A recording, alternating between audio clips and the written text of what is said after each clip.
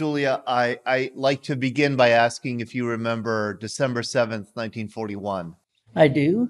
I remember it very well. I was on my way to a girlfriend's house. It was her birthday, and I heard it on the radio that we had bombed that we had been bombed at Pearl Harbor, and I had never even heard of Pearl Harbor. I was uh, what was I about 20, 21, something like that, 20. I must have heard of it, but I didn't know where it was. I had no idea what it would mean to the whole world. It was uh, an odd day. And were you working at that time or a student? I was still in college, Where, where did you go to college? Carnegie Tech, which is now Carnegie Mellon. What were you studying there? Uh, it was a, a general studies course, they called it. Today, I guess they call it humanities. We had a lot of uh, sciences and English and history and sociology, that kind of thing, which equipped you for practically nothing when you got out of college. So I was very fortunate that the war came when it did, as far as I was concerned. What made you decide to join the Navy? Well, all the boys were going. They, in fact, we graduated a month early because the ROTC men were wanted in the service. So we didn't even have finals that year. And that was the only year I made the honor roll, too, probably because of that. I read in the paper one day that uh, the Navy was looking for women and for college graduates, and you could walk right in with a commission. You didn't have to go to uh, boot camp or whatever they called it then. So I applied and got in, and uh, that was that.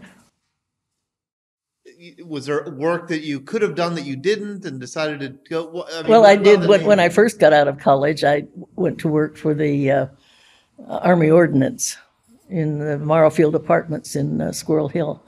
They took the whole first floor and painted the windows, and we checked gauges for shells that were being made in the steel mills. And as a group, we were taken over to the steel mills, and the men didn't like it at all. The men that were there, women had never gone into the steel mills. But at this point, um, they let us in, and there were a lot of Rosie the Riveters there, and it was very interesting. But they wanted us to see what it was we were checking. These were gauges that checked to the thousandths of an inch, uh, and if you if they go out of out of what do you call it uh, out of bounds, that is what I'm trying to say. Anyway, then the shells would not be made to the right specifications, and they wouldn't fit the tubes in the submarines and so on. So that was it. Before they let me do that, I had to take a summer course in uh, college algebra and trigonometry, which we did use because some of those gauges were magnificent. They were huge and complicated, and they were you had to figure them using math because you couldn't get calipers or anything in among some of them. But I still didn't feel that I was doing as much as I could do. And then when I read the paper about the waves being started, I applied right away. But I worked at the gauge lab until uh, until I was called up for the waves. So when you went in the waves, you didn't have to do boot camp or anything like Well, that. Well, we had a three month officer training. What was that like? That was very nice. We went to Smith College, and being from dirty Pittsburgh at that point, this was early April, and they still had snow in Northampton, and it was clean, and it was just beautiful. And Pittsburgh at that point had no evergreens either. The acid air was just too much for evergreens, and here was a whole country, all of New England, just beautiful. And I'd been raised in Pittsburgh. I'd never seen that part of the world before. It was uh, it was fascinating, and we were there along with the girls. Nancy Reagan was there when we were there. Nobody knew it at the time, but she graduated that spring that we were there. So for two months, uh, three months, we were there. Uh, one month as just a kind of a general course, excuse me, and then two months uh, more detailed course. Everybody wasn't kept for the for the other two months. And what kind of courses were they? What kind of things were you Uh, learning? oh, um, we did a lot of code work, uh, different machines, but they were all very simple machines, teletype, all that kind of thing. We learned that, and we had to learn ships, silhouettes of ships, uh, and of course Navy history, all kinds of history courses, and a lot of physics. I'm not sure what that was for, but I guess for electric things. I don't know. None of us knew where we were going after this, and a lot of them went, I have no idea where, but I guess we were then equipped to do almost everything that the Navy had to offer. How many of you were there? Um, there were a lot of us. There must have been, I really don't know.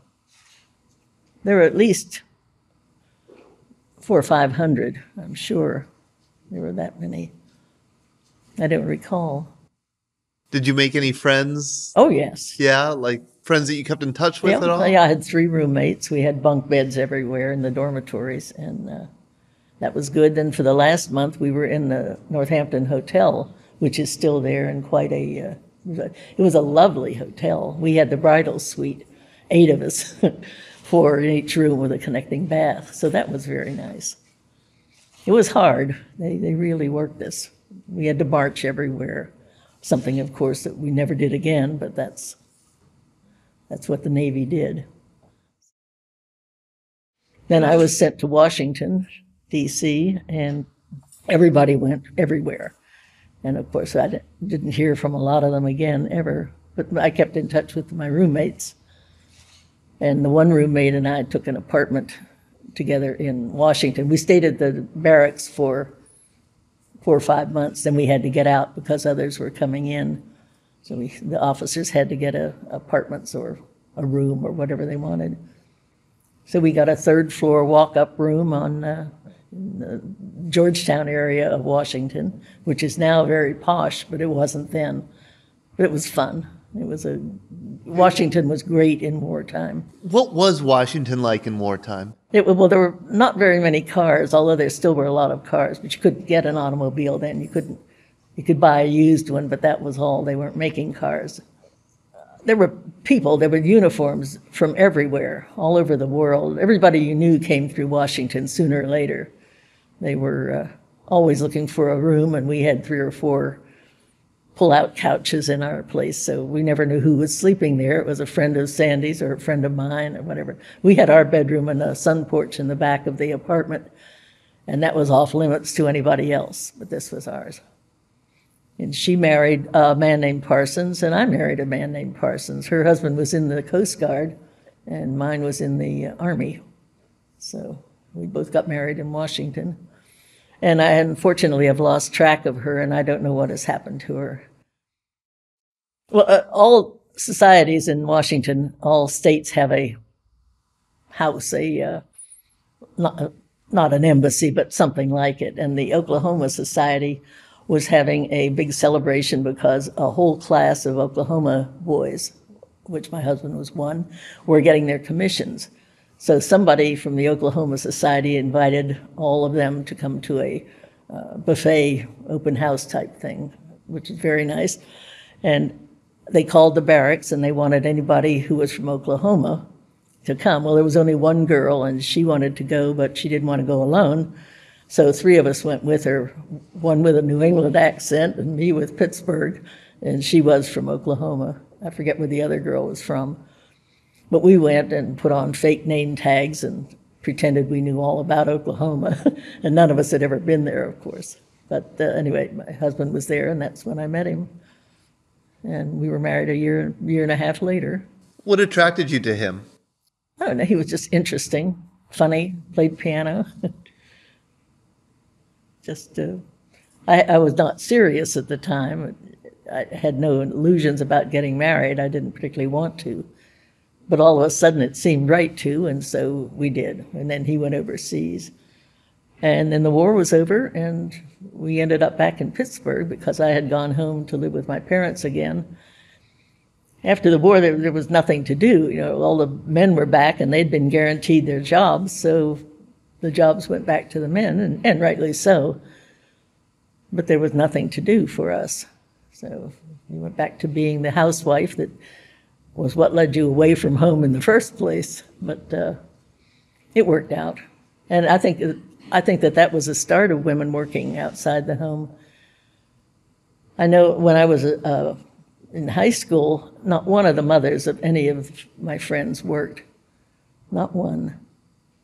Women just didn't, unless they were widowed and had to find something to do, that sort of thing. Or they were nurses or teachers, perhaps, although married teachers couldn't work either. So, so I was a mother and a three times over, and then I read that the Carnegie Tech, Carnegie Mellon now was taking alumni for courses. So I thought I'm going to go back and get my teaching certification. So I did, and uh, then I taught for five years at North Allegheny High School. And then we moved to London, and that was the end of my teaching career. so, but it was interesting. I liked working. And I think most women do like working. Several of the Navy waves I've met and a few Army nurses have told me that their fathers were not happy that they joined. I don't know what your parents were like. My or- father was, was quite pleased. He was a uh, teacher at uh, Carnegie Tech. And he had no boys, he just had my sister and me. And I think he was pleased. They could hang the flag in the window with the star in it, and that was, uh, he, he was very proud of me. And of course, I could never tell him what I was doing. So none, they never, and he died before we were allowed to talk about the work that we did. So he never knew what I was doing. All we could say was, oh, we have office work. That most of us just do office work. So you went right from Northampton to Washington, D.C., and immediately started working on Enigma? Yeah, yeah. We were sitting in a, a, I guess it's a replacement place in a uh, gorgeous little chapel there. This was a girls' school before it was the communications annex, and this was a lovely chapel. Little padded seats with doors on the ends of the pews. Really pretty. Anyway, we sat there until somebody came and told us where to go, and somebody came in and said, "Did anybody speak German?" Well, I didn't speak it, but I had a couple of years of it in uh, high school. So I raised my hand and they shot me off to the German section immediately. That was it. And I learned to uh, do the decode work on the job. The, messages would come in from all over the North Sea, uh, Bay of Biscay, all along the French coast. There were receiving towers. And by radio, all of the German uh, messages were sent out over the air, and people would receive them and I guess teletype them. And I'm not sure how they came over here, but they came over to uh, Washington, and I guess to all, all over America. I don't know where they went, where all they went.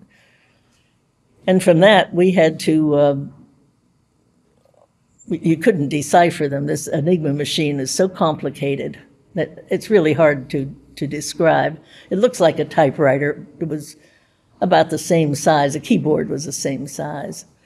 But it had a, a series of wheels in it. The wheels were all wired so that no letter that went into the machine would ever come out the same. So when you're trying to decode, if an I comes under an I on the uh, code message, you know you don't have the right thing. No, no- nothing can ever match, which was, I guess, to save them somehow. It was a safety measure for whoever invented the machine, but it worked out nicely for us because it helped a lot in eliminating a lot of things that we thought the message said. The uh, British, somewhere along the way, had sunk uh, or shot a submarine that was sinking. And the captain of the submarine ordered all hands off, and the British took them on as uh, prisoners. And the uh, captain then sent his own men on the submarine, which had not yet sunk. And that's how we got the first Enigma machine. They carried it off and the code books and all of the equipment that was necessary to do this. And then he sent another, after he got all that off, he sent another group back to get some more. And unfortunately, they went down with the submarine. The seconds did. But this helped us so much because it gave three months of the code. So we could read the traffic for three solid months. Every day, these wheels that are in this machine, there are uh, four of them. And each letter went into the machine, came out something else, went into the next wheel, came out something else, the next wheel, and the fourth wheel. So no, no way could it ever come out itself at the other end of the line. And that became the code then. But these wheels were removable and they were changed every day. From there were six of them in, in the machine we had. And so it could be in any order. So it would be impossible to try to work this out. They said people with mathematical minds tried very hard, and a couple of them, I guess, went crazy trying to trace, follow through on this thing. They just couldn't do it. It was a, an almost foolproof machine. But also, the setting of these wheels made a difference because each wheel had the alphabet on it, and you had to set the top with a, a whatever the setting for the day was, QR or ZY or something like that. That changed every 12 hours. So even if you had the morning's traffic, you didn't have the afternoons. It was a totally different thing. So to get three months of this from the uh, submarine was just fabulous. At least we now knew what we were working with and how to deal with it. So it was really, uh, whoever invented that machine had a great mind. In any event, uh, we would get these uh, messages and then we would put them on a what looked like ticker tape from a machine that the whole message would be in one line of the letters. And then we would run the two together what we thought it said and what was there and if it would fit. You know was the group count right? Was the time right? Whatever. And eventually we got so we could tell pretty well what uh, what would be coming up at this time. This was only the German submarine traffic. Now, I don't know who did the ship traffic. That was another whole section. Maybe the British did all that, but they couldn't do all of the submarines, so they sent it over to us for our, and there were a lot of us on there working on that. And where did you do this work again? In Washington, D.C. What what building? Uh, it's called the communi- It was called the Communications Annex. I don't know if it still is or not. It's right at uh, the end of Massachusetts Avenue, the circle there, Ward Circle. And that's where this school was. And they took over the whole school. The girls' school is still there, and, and the Marine Guards, it's double barbed wire fences all around it, and it's still there. They're still working. They have more radio towers than ever. So I'm sure they're working on Iran and uh, the Middle East. Can you tell me what the girls' school's name was? Do you remember the name of the school? I don't remember. It wasn't a. Uh, I had a feeling it was a something like Winchester, perhaps, or Ellis, something like that. I don't know. They put up a good fight, but the uh, government took it anyway. And what? When did you? Do you remember the date that you joined the Navy and the date that you went to Washington? Yeah, I went to Washington the uh, July. I think it was the seventh I had a week off between Northampton and, and uh, Washington. What year? 43. And I went into the service in April, I think it was the 13th, as a matter of fact. We met at the old Keystone Hotel and we marched over to the P&LE station, which is now the uh, restaurant over there, and went out the back door and got on the train, and that was it. And I thought goodbye Pittsburgh, but several years later, here I am back home again. I like Pittsburgh. I don't know why I felt that way, but I kept thinking there's so much to see in the world, and I didn't always. Anyway, when we came back to Pittsburgh, my husband went back to college to get his uh, some graduate work, and then we started on from there. Had you already had um, they already had Enigma when you joined, or did you join and then they acquired? They it? they had done that before before the U.S. got into the war. This had happened with the thing, but when the three months ran out on the code book, then we were stuck. Then we really had to work. And once in a while, we got a, a break. Our break was when the, when the subs had to surface. They don't do that anymore with sonar. They can recharge the batteries underwater, but then they couldn't. They had to come on the surface to do the uh, recharging, and then they would wire back to radio back to home base and say I missed messages 247 through 320 or something like that. And then the base would have to re, broadcast the messages to them if they were important. And that's how we found out what was important and what wasn't. Because if it were dummy messages or personal messages, like happy birthday or something like that, they didn't repeat those. They tried to keep radio silence as much as they could, other than uh, what they had to do to tell the subs where to go. And, and if we didn't get this broken from day to day, we didn't know where these wolf packs were that were killing our ships from the States by the thousands. They just, it was, it was, they were helpless. They were just caught in this trap. And the ships went down, and all the equipment we were sending to England went down.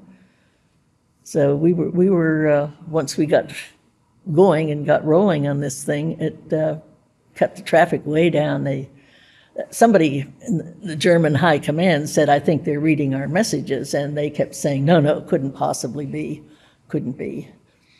Then I read somewhere in a book just this last summer that when the top man died, just before he died, he said, he said they couldn't have been reading our messages.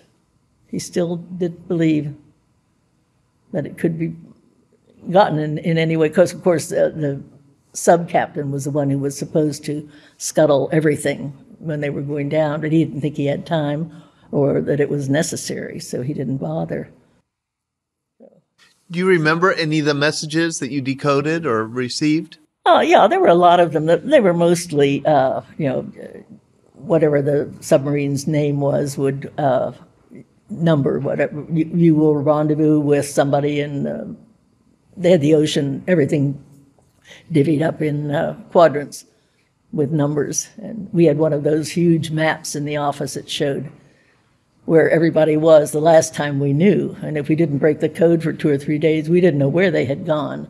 And then a convoy would leave New York and, or Boston or somewhere and head out to sea right to where the, the uh, wolf pack had been. But we didn't know if they were still there. Nobody knew. So it was pretty vital that we keep up to date as much as we could. But sometimes in repeating the messages to the men that had been underwater, uh, we could match it up with traffic that we had broken earlier, and that would then break it for that day. And it it uh, it helped. There were there were this is when they first used computers, and the computers were as big as a piano. They were huge. And when you think now what they are, it's just amazing. But uh, they, they would, we would tell the computer we would draw what we called a menu. It was A to B, B to C, C to B, and hope there was a closure in there somewhere. And send it to the computer, and it would spit back all the possible wheel orders. And then that message would come up to us. Sometimes, if we had too many variables, it would spit out too many options. So we had to get as much as we could on the message. But uh, then we could work out the wheel order somehow. I don't. That was another department that worked out the wheel order, or the uh, setting, the letter setting. If we had the wheel order, we could, with the machine we had, we could work backwards on it. And when we finally got it, then of course we would run off the whole day's traffic in uh, German. We didn't do the translating; they had a whole department for that. You were such a young woman, and this was such important work. Well, I was 23 by then. 20, 23 is pretty young. 22. yeah, it is now. Of course, I didn't think it was then. You didn't think it was then. But it must have been very, uh, a, a really wonderful feeling to. It was. Unfortunately, we couldn't talk about it. My roommate was in the Japanese section, and we never talked about it. And nobody talked about it. It was just safer to not talk about it at all, anything. We could talk about people and things we did with people, but we never talked about anything, and that, as they said, was the best kept secret going. And it was in 1997 that I got to Washington to visit an old wave friend of mine, Jean McDevitt. I forget, failed to mention her name when I did that other uh, bit for QED, and she said, You could have mentioned my name. So now she's in. Uh, what was I? Oh, I went to visit her, and she said, There's a new museum open on the old Camp Meade territory, the, the national security something, I forget. So she said, Do you want to go over and look at it? So we did. And here was the Enigma machine, all kinds of Enigma machines, earlier ones and later ones, and I didn't even know that we were allowed to talk about it. It was just it was just a shock to me to see them there and all the computers and calculators and everything. And they're still there. I was there last uh, Thanksgiving, and they're all still there. I took the tour, and they got a few things wrong. And when I told them afterward, I said that, I said a couple of those things weren't right, and the guy says, "Oh, who cares?" And I thought, oh, there there goes a little bit of history. You can see how things do get ruined through the, through being told over and over and over. Tell me, what did they get wrong? Well, one of the, that I remember was we had numbers 1 to 26 for the letters. We had to put them into numbers for the computer. We couldn't use letters. And he had them in, in the uh, lecture and in the little booklet that they published, he had it going from 0 to 25. And I said, but that isn't right. And he said, oh, who cares? So, you know, what can you do? it was one of those things. That's the, the main thing I remember. And he had wrong things about times things happened but they weren't they weren't vital.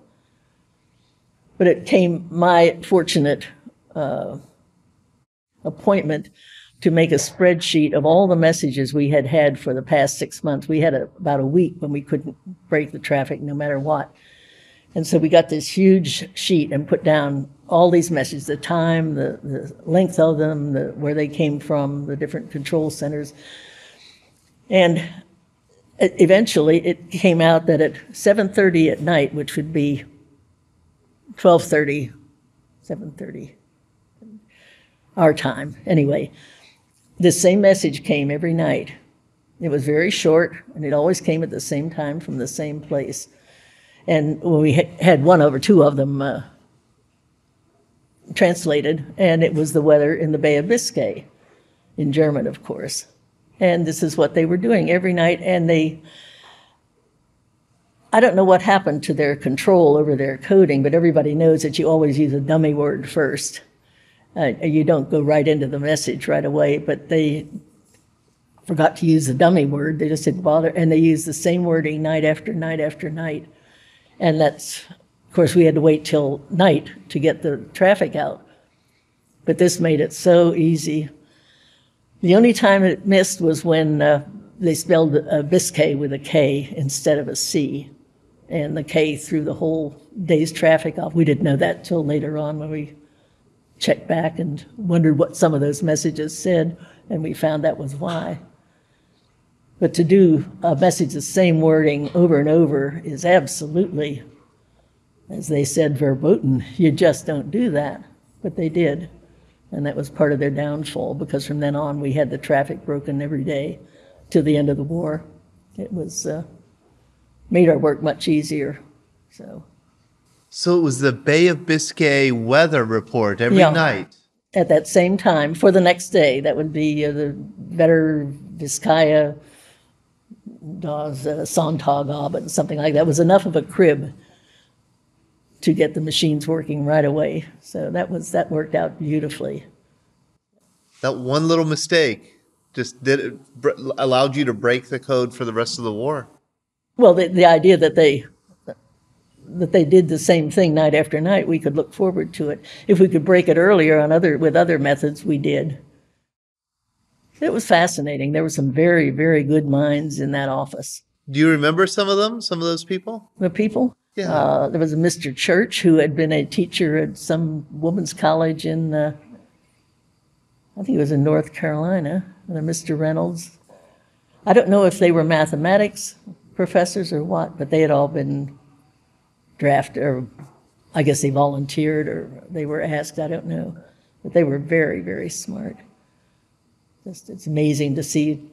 I always liked math and could do math fairly well, but they were I was first grade compared to them. They really could work on it. And a lot of decoding is uh, mathematical. So our uh, group on the U-boats was called Shark. That was our department. But there was also one called Bovril and something else. They all had sea names of some kind. So there were other little things. They could have been, I don't know what, for ships maybe, or con, I, I don't know. We, we never knew. They, they didn't, they didn't really want everybody to know everything. They thought it was safer to have each group know its own thing. So it was a convoluted method, but it, uh, it worked. It worked beautifully. We all got our uh, commendation uh, ribbons after the war. I don't know what I did with mine. It's, I haven't seen it for years. But it was uh, fun. But again, we couldn't talk about it until 1997. And somebody said, oh, it's been, uh, they de- declassified it in 19, I think it was 67. I thought, all these years. And by then, of course, I'd never talked about it, so it, things do slip away. Just sad. I have a lot of letters I wrote home, but I couldn't say anything. I couldn't say anything about it in the letters. So no, my husband never knew what I did till way well in 1997. You never told your husband? We never told anybody. This was this was top military secret, and everybody apparently kept it because they never knew that we had their code. So it was uh, it was amazing, and I was lucky enough four or five years ago to get to uh, England, and I went to Bletchley there, which is their uh, decoding place, and they had thrown out everything after the war. They threw out all their Enigma machines, all their notes, all their everything. I don't know why. I still don't know why. They had nothing left. They tore down the buildings and they had commandeered a huge mansion, and that's still there. And they had a woman who was there. Oh, that was another mistake I caught. I told her after she was telling everybody in the tour through that. She said, and we broke the traffic every day and I went up to after it. I said, We didn't break the traffic every day. She said, Well, we did. I thought, you know, they'll always be in England, I guess. At any rate, it was interesting to see their side of it also. But they, uh, they wanted me, and I did for them write down what I knew to try to get their notes back to shape because they're having the same problem we are. The people are gone, they don't know where they've gone, the ones that uh, survived the war and worked there probably like ours, uh, half of them are dead. So anyway, I sent them what I could, and I don't know if they've done it or not, but. Uh, I think I'm still amazed that you didn't tell your husband anything. Well, he knew he knew that I was doing something secret, but in the war, everybody did something secret. That old loose lip sink ships thing was was everybody had that on their mind. Just don't talk about it. Don't talk when, when your husband is going away for six weeks. Don't just don't tell anybody. And that way things don't get started and so they don't get around. And as far as I know, everybody followed it. So nothing ever did get around. But he was very interested in the machines and the uh, and the work afterward. Wolfgang von Hagen. I'm hoping somebody will have known him. He was a sub, a German sub skipper, and he went to, um, came to America after the war and married an American woman who was a friend of a friend of mine. And I thought, oh, wouldn't it be interesting to talk to him? But now this was back in the 50s, so I couldn't, uh, I couldn't say anything then. And through the years, we finally we joined a church in North Park when we moved out that direction, and he was an usher there. And he ushered me to a seat one morning, and uh, I kept thinking, oh, I would just love to say something, but I couldn't. So then we moved around the world here and there, and we ended up in Yugoslavia. And Yugoslavia had a trade fair every year, and we were there while they had the trade fair. And there was a Westinghouse booth there. My husband was uh, Westing, was with Westinghouse building a nuclear power plant in Serbia, in uh, Slovenia, at the time. But I heard, I said, is anybody from Pittsburgh there in the Westinghouse booth? And they said, yeah, Wolf von Hagen's there. And I said, oh, it's time. This was in the 70s, I guess. And I thought, I'm just going to ask him anyway. This is what, 50 years later, 40, 30, whatever it was. So I went down to the fair the next day and I went to the Westinghouse booth and I said, Is Mr. Von Hagen here? And they said he went home this morning. And by the time we got back to the states again uh, he had died. I saw in the paper the obituary, and I thought, ah, oh, for heaven's sake. So I never did get to talk to him. I would love to have talked to him. did you ever worry about a convoy going out or? Oh, yes, but this. I uh, hope we got it right or. Gene McDevitt that I was talking about, uh, husband was a convoy officer, and he went out with the convoys regularly, like every I don't know, I don't remember how long, every six weeks maybe. And every time he went, she came to the room we were in, and she said, "Okay, get busy. Mac left this morning. He's out there. The convoy's on its way.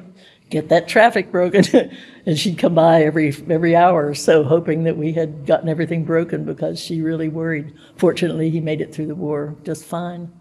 So he just died last year. So, but there was a huge German ship that was sunk, and the British and whoever was there was trying to save the sailors, but help was on the way. The Air Force was on the way, so they couldn't stay to save the rest of them.